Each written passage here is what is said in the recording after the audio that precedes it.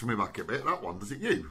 Absolutely. I remember that. I got my first flat on Salford Precincts, Coleman Towers, Oh, I remember it. Oh, I remember it well. the penthouse suite. The penthouse suite. I would say that, would you? It was more like a cave. Yeah, but yeah, yeah. The Yeah. hovel. Yeah, it was good. You had a few good nights in there. The young ones. That's what it was like. Who was you living with at the time? Was it you or someone? No, Monks, Monksa and uh, Mike Clark. Yeah, little Clark. Yeah. Little Clark, yeah. Top lad. He likes to drink, doesn't he? Ooh, we can put it away, that kid. Tell you what, though, he's a decent rugby player, wasn't He He was. He was a top rugby player. I, mean, I think he was his uh, stature that he, he didn't get it. He didn't Yeah. make the grade, really. Still, he was a top player, though, wasn't he? Yeah, he was a top player. Very good player. And Trev weren't bad either, so he tells us. Yeah. I like what he tells us, like. Yeah. Well, he, Trev can talk. Yeah, he talks a good game, doesn't Oh, God, yeah. Yeah. I'll tell you what, got a clash, eh? Yeah, that's a good tune, mate. I Fought the Law. Does that bring any memories back for you? once, once or twice.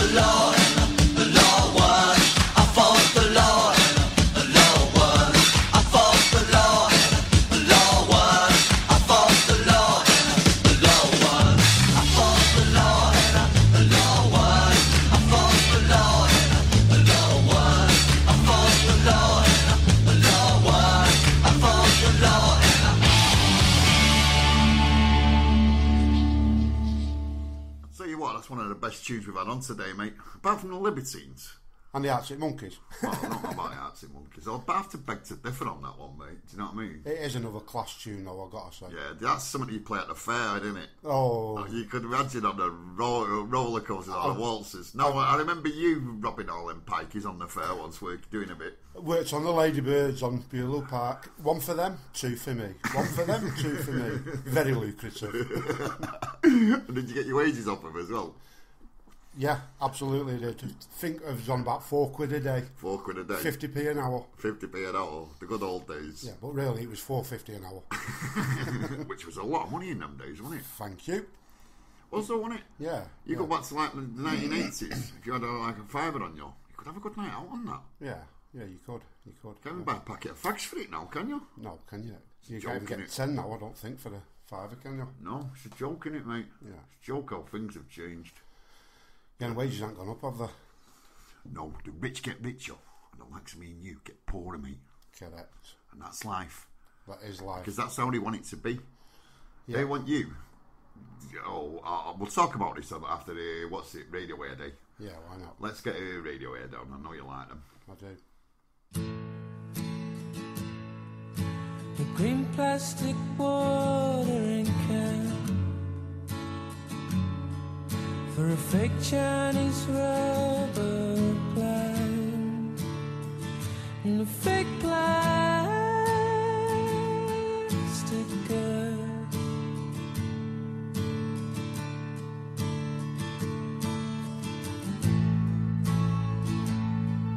that she bought from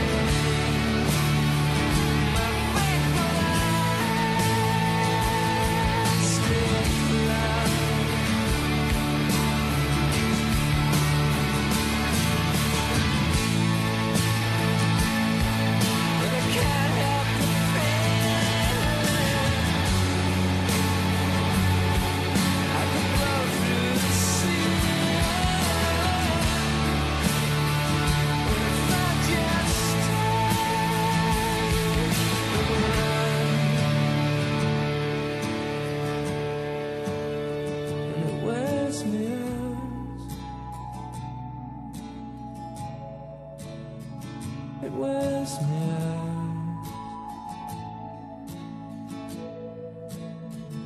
It me out. It me out.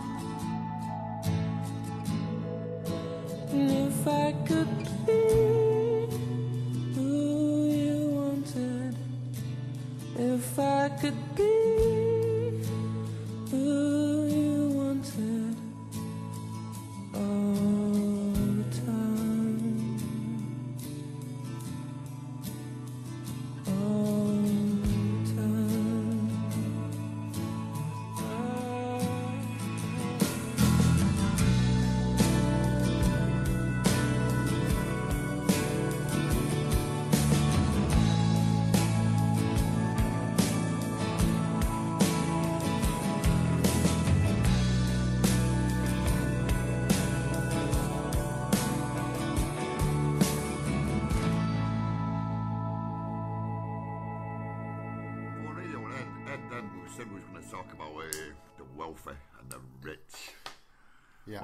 on that, mate?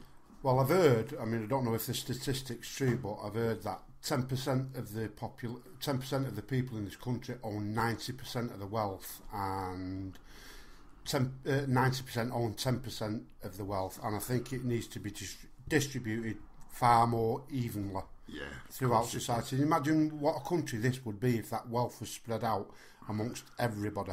Well, they won't do that, will they? Well, they won't because they like to keep the people down, don't they? Of course they do. That's why they make programs like Benefits Street and the Scrounges on the Dole and stuff like that, right?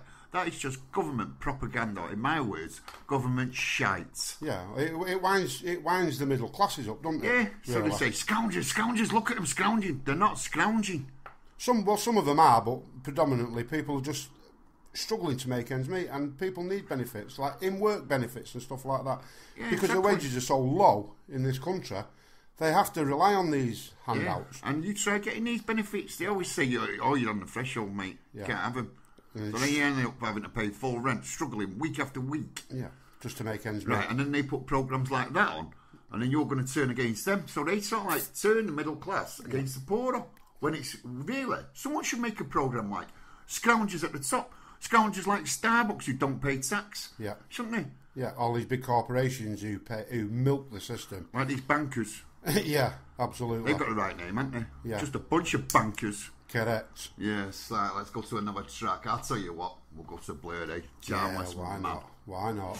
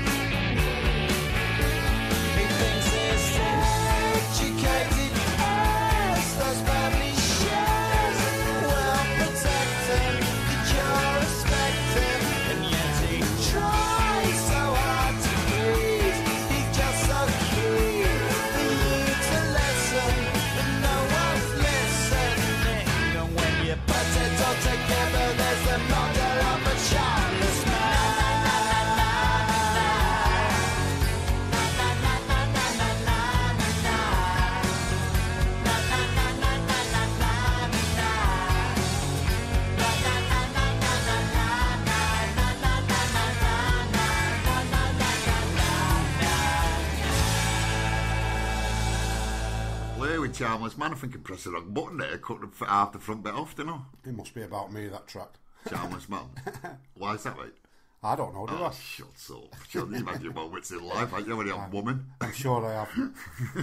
Few and far between nowadays. Very secretive about that. Oh, here we go, eh? Here we go. Probably half of mine anyway. right, mate, what do you want to go on now next? What do you want to talk about?